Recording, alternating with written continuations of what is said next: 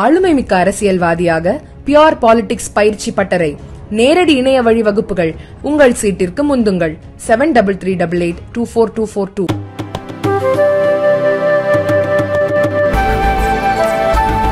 புதுச்சேரியில் தலைமைச் செயலகத்தை முற்றுகையிட முயன்ற இந்தி கூட்டணியினரை போலீசார் தடுத்து நிறுத்தியதால் அவர்கள் போலீசாருடன் வாக்குவாதத்தில் ஈடுபட்ட சம்பவம் பரபரப்பை ஏற்படுத்தியது. புதுச்சேரியில் சமீபத்தில் மின் கட்டணம் உயர்த்தப்பட்டது. அதை எதிர்த்து இந்தி கூட்டணி கட்சிகள் தனித்தனியாக போராட்டங்களை அறிவித்தன. இதனால் அரசியல் வட்டாரங்களில் பல கேள்விகள் எழுந்ததால் கூட்டணி கட்சி தலைவர்கள் ஒருங்கிணைந்து போராட்டம் நடத்துவோம் என அறிவித்தனர்.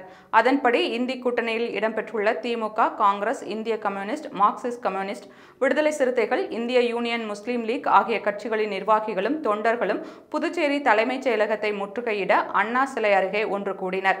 அங்கிருந்து தலைமைச் செயலகம் நோக்கி தொடங்கிய ஊர்வலத்திற்கு திமுக மாநில அமைப்பாளர் சிவா மாநில காங்கிரஸ் தலைவர் வைத்தியலிங்கம் எம்பி முன்னாள் முதல்வர் நாராயணசாமி இந்திய கம்யூனிஸ்ட் மாநில செயலாளர் சலீம் மார்க்சிஸ்ட் மாநில செயலாளர் ராஜாங்கம் விடுதலை சிறுத்தைகள் கட்சி முதன்மை செயலாளர் தேவபொழிலன் ஆகியோர் தலைமை வகித்தனர்.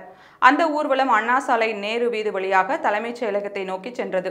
அப்போது நேரு வீதி கேன்டீன் வீதி சந்திப்பு அருகே இந்தி கூட்டணியினரை போலீசார் தடுத்து நிறுத்தினர்.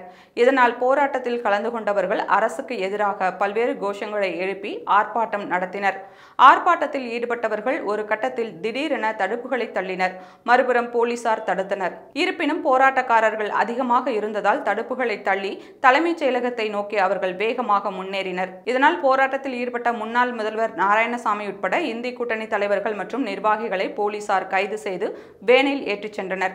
இந்தி கூட்டணியின் இந்த போராட்டத்தால் நகரெங்கும் கடும் போக்குவரத்து நெரிசல் ஏற்பட்டது.